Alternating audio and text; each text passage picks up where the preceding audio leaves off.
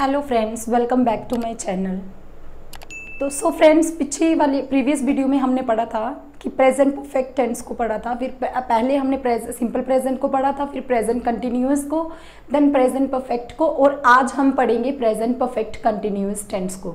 अब आपको कंटिन्यूस का तो मैंने बताया था कि जो टाइम चल रहा है एंड प्रेजेंट परफेक्ट और पास्ट जो परफेक्ट uh, जो होता है वो जो हो चुका है it means present perfect continue tense वो टेंस होता है, जो पास्ट में हो चुका है, लेकिन अब भी जो है वो कंटिन्यू है, वो अभी भी चल रहा है। That is the present perfect continuous आप समझ सकते हैं कि कंटिन्यूस का मीनिंग जो होता है that is the continue that is going on जो अभी भी चल रहा है। But what is the meaning of the perfect perfect mean that has done जो हो चुका है। And the combination of present perfect continue perfect और कंटिन्यूस का जो कॉम्बिनेशन है that is the noun as the present perfect continuous कि जो अभी पीछे बीत चुका है लेकिन वो उसका इफ़ेक्ट जो है और जो अभी वो कंटिन्यूस चल रहा है उसमें भी वो जो एक्शन है वो परफॉर्म uh, हो रहा है that is the present perfect continuous tense तो इसके अंडर भी कुछ रूल हैं जिसके अकॉर्डिंग हम सेंटेंस फॉर्मेशन करते हैं। ठीक है सबसे पहले हम पढ़ेंगे rule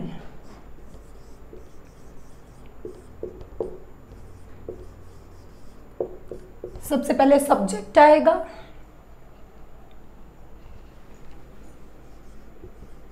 Then has and have these are the helping verb plus one more thing is added in this sentence has and have this is the rule of the present perfect but in the present continuous means been plus been what is the meaning of been been means been the word been showing that is going जो चल रहा है, उसी को been जो है, वो क्या करता है डिपिक्ट करता है।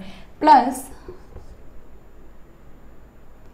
वर्व की first form plus I N G and plus object यहाँ पे आपका since or for plus object अब देखिए यहाँ पे कुछ न्यू चीज़ें ऐड हुई हैं जैसे कि सब्जेक्ट तो you all know what is the subject and helping verb then been is the new thing that is added and the verb की first form plus ing that is also uh, under the continuous tense and the next one is the since are for these two words are added in the present perfect continuous tense and the last one is the object it may be or it may not be okay first of all I am making a sentence. He has been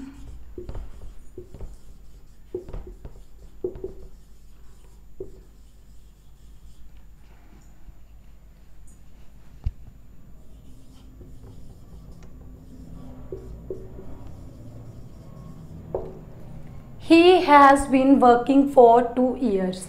वो यहाँ पे जो है वो काम कर रही है कब से?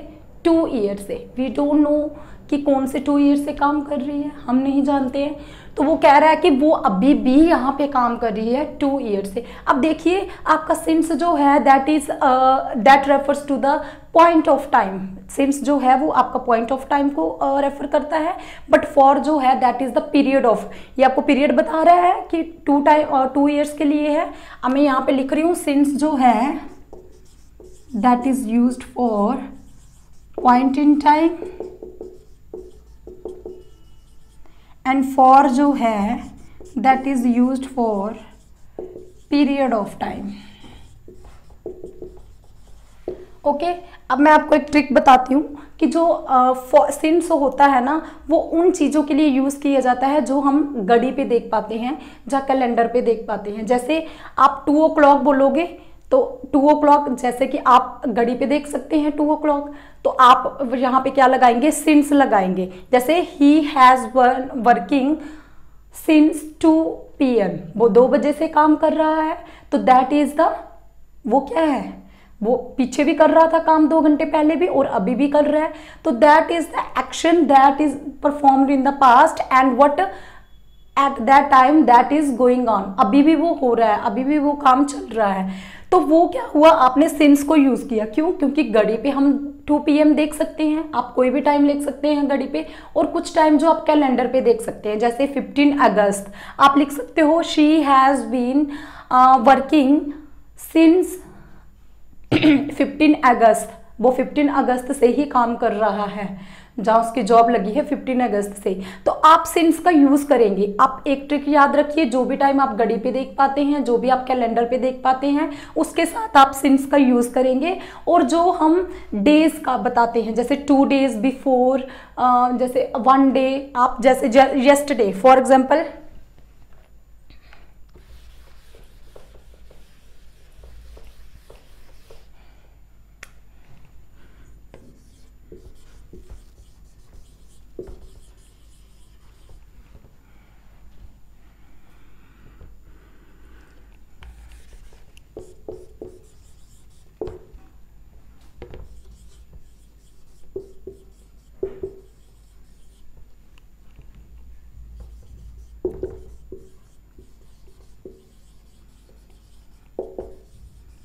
they have in walking since morning वो मॉर्निंग से ही क्या कर रहे हैं? चल रहे हैं या टहल रहे हैं। दैट इज़ द हमने सिंस क्यों लगाया? आप मॉर्निंग अब आप बोलोगे कि मैम हम कैलेंडर को मॉर्निंग नहीं देख सकते, घड़ी पे मॉर्निंग नहीं दे सकते। लेकिन कुछ चीज़ें, जैसे मॉर्निंग हो गया इवनिंग हो गया नाइट हो गया, उसके लिए भी आप सिंस यूज़ करते हैं ओके अब आप फेस्टिवल्स के लिए भी सिंस यूज़ करते हैं। फेस्टिवल के साथ की जो दिवाली से ये काम हो रहा है तो then you also use the since with the festivals with the day जो आप पर्टिकुलर uh, जो जैसे मॉर्निंग है इवनिंग है नाइट है इनके साथ भी आप सिम्स यूज़ करते हैं। जैसे मैं लिखूं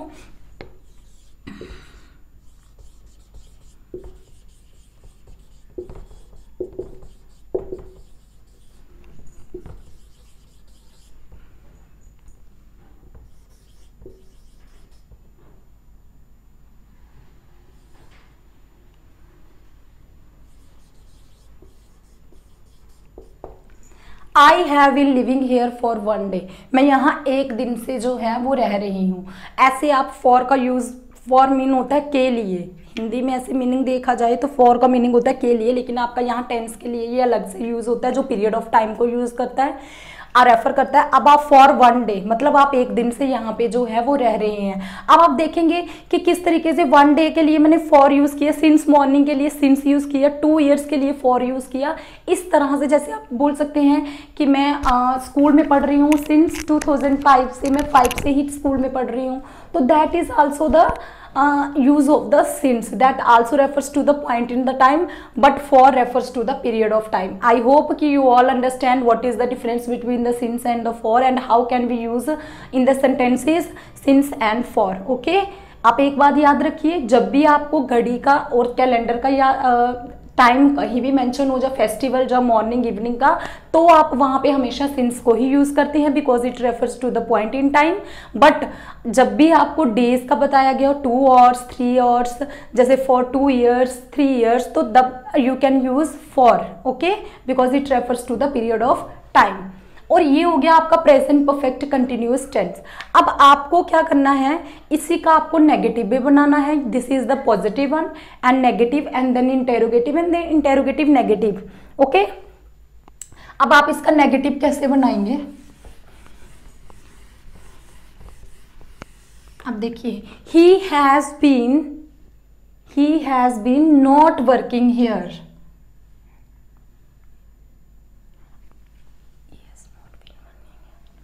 आप आपको नेगेटिव बनाना है। अगर आप आ, इसका आ, मतलब आपने इंटेरोगेटिव बनाना है तो आप हैज़ बाहर निकाल दोगे जैसे हैज़ ही बीन सेम रहेगा।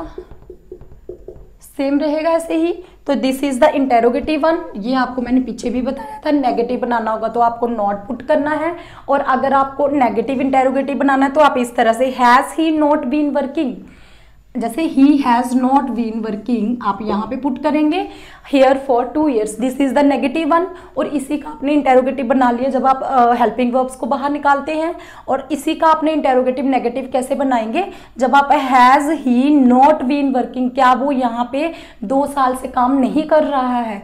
तो this is the negative interrogative sentence okay तो this is the present perfect continuous tense आपने सिंपल प्रेजेंट को भी पढ़ लिया है, जिसमें मैंने आपको बताया था सब्जेक्ट वर्व की फ़र्स्ट फॉर्म ऐसी या येस लगता है.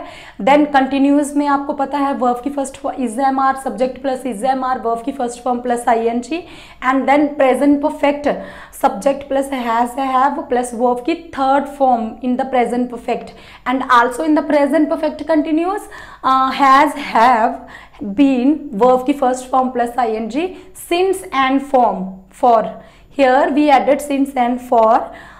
कुछ टाइम पे हम since और for नहीं भी लगा सकते हैं, क्योंकि सेंटेंस इस तरीके से बनेगा कि हम टाइम पीरियड बताएँ ही ना टाइम को रेफर ना करें। तो अब has he been working here for two years this is also the interrogative one तो these are the present perfect continuous tense this is the present perfect continuous tense so today I have completed your first tense that is the present tense okay tomorrow we will start past tense so if you have any confusion you can comment in the comment box I will solve your problem I also if you have any problem any uh, related to any tense present continuous perfect or present perfect continuous तो आप comment box में comment करना I will solve okay तो अभी ये आप अच्छे से रिमाइंड कीजिए कि किस तरह से कौन सा टेंस को यूज़ किया जाता है। प्रॉपरली आपको जो रूल है, इसको आपको प्रॉपरली क्या करना है? रिमाइंड रखना है, तभी आप सेंटेंस जो फॉर्मेशन है वो करेक्ट हो पाएगी। Okay thanks for watching my video okay, friends, thanks for watching my video. If you like my video, then please like, share and subscribe my channel.